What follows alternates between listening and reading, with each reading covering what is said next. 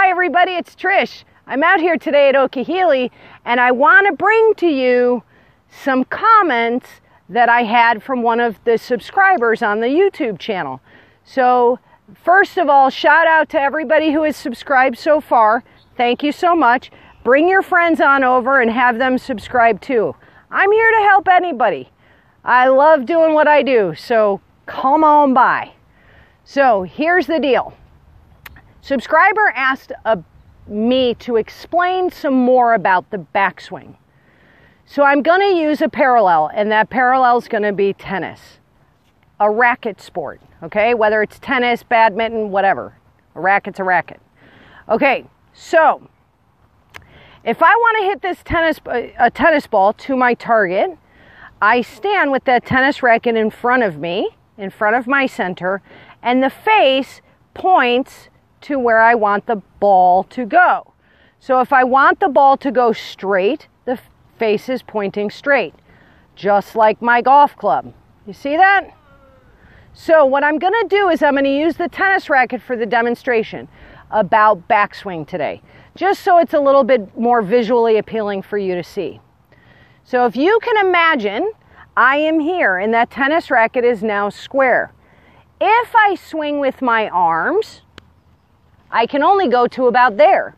And the tennis racket, as you see, is not square. So I'll back up so you can see it a little better. If the, I swing with my arms, I go to about there and the tennis racket is no longer square, it's closed.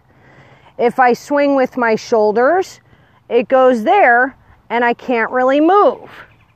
So we make the backswing with our hands, both hands together, okay? Right and left combined. So we swing the club back with your hands to the top of your backswing. In a right-handed player's case, that would be the top of your right shoulder. And you see my hands at the position of the top of the golf swing and the club face is square, the tennis racket in this case. So when I swing the club forward with my arms, it returns to square. Does that make sense? Let me show it to you with the golf club. So, with the golf club, I swing the club back, both hands together, and respond to the swinging of my hands to the top of my backswing. There it is. It's that simple. We swing our hands to the top of our backswing, allowing the club to be square and allowing our arms to then swing the club forward in the direction of the target. Hope this helps. Come see me at Okeeheelee or at Park Ridge. Don't forget to like and subscribe to this channel.